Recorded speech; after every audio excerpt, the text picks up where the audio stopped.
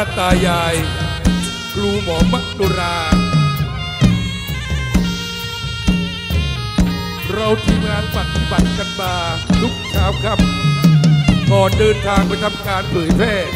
ในวัฒนธรรมของมักดุรา เพื่อเป็นประเพณีสื่อสารตั้งแต่รุ่นปู่ย่าตายายคุณทวดปู่ทวดศักดิ์สิทธิ์ทุกๆพระ ก่อนการเดินทางก็ต้องมีการเชิดเครื่องทำรางถวาย โดยเฉพาะสถานที่ตรงนี้ศาลหลักเมืองกระบี่ที่ชาวเมืองกระบี่ให้การเคารพนับถือและบูชา เราก็เลยต้องมีการเชิดเครื่องถามรางถวายก่อนทำการแสดงในเรื่องวัฒนธรรมของมะดุรา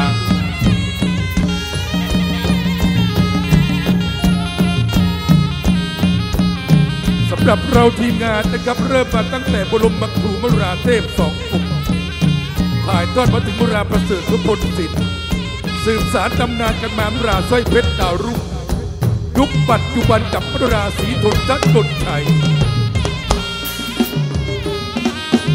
และก็มีการสื่อสารไม่มีวันหยุดยั้งกับศิลปินที่บรรดาคุณพ่อคุณแม่ จะได้เจอเจอ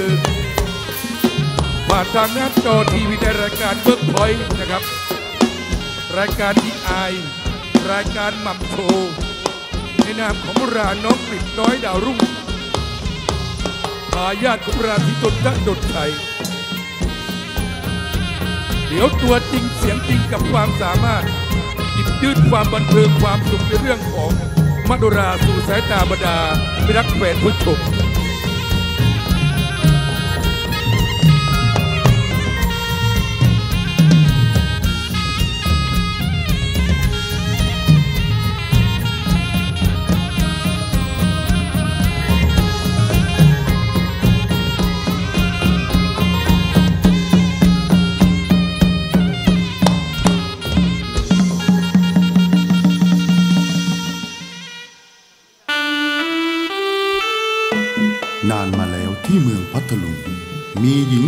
มชื่อนวลทองสำลี เป็นพระธิดาของพระยาสายฟ้าฟาด เจ้าเมืองแห่งพัทลุง นางชื่นชอบการรำเป็นชีวิตจิตใจ จนในคืนหนึ่ง นางได้นิมิตฝันว่ามีเทวดามาฟ้อนรำกับนาง พอนางตื่นขึ้นมา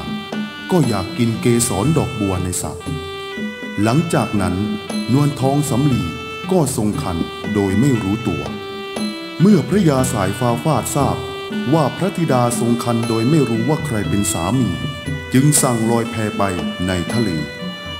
แพไปติดอยู่ที่เกาะกระชัง นวลทองสำลีอาศัยอยู่บนเกาะจนคลอดโอรสขึ้นมา และได้ตั้งชื่อว่าเทพสิงหอนนวลทองสำลีได้ฝึกฝนให้โอรสร่ายรำด้วยท่วงท่าเดียวกับเทวดาที่เคยมาเข้าฝัน เทพสิงหอนฝึกการร่ายรำจนเติบใหญ่ และมีผู้กล่าวขวัญถึงท่ารำที่สวยสดงดงามเกินกว่าผู้ใดในแผ่นดินนี้ จนกระทั่งทราบถึงพระกันของพระยาสายฟ้าฟาด จึงได้ส่งคนมารับไปรำให้ดูที่ในราชสำนัก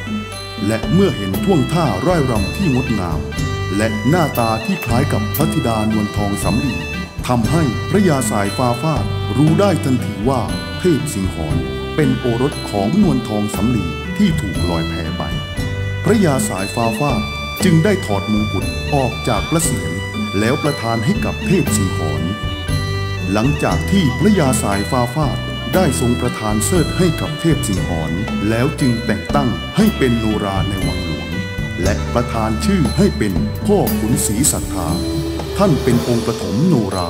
นับตั้งแต่นั้นมา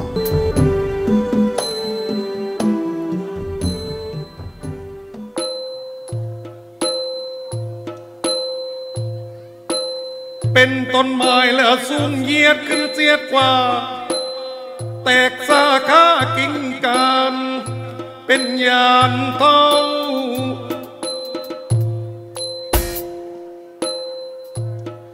คือรากฐานยึดมันพี่น้องนะช่วยบรรเทา ไปสู่เท่ากิ่งการยานและใบ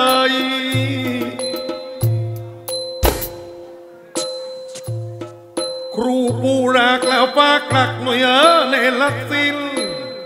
ในยนยินนับนานการสมัยให้น้องปิดล้านลุงมุงมั่นใจสืบสานสิ้นตินไทยออดสืบตาหนุยไปนิรันดร์ นราตายยังคงอยู่นุคูทิ้นตาย จงสืบสายลายเดิม เสริมสร้างสรร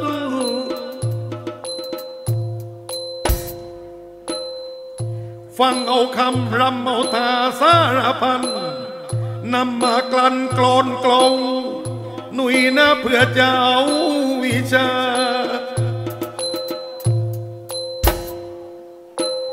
โบราณว่างูจะดีนูเพราะมีผิด เราเป็นสิทธิ์ดีเพราะมีครู หนุ่ยต้องรู้ศึกษา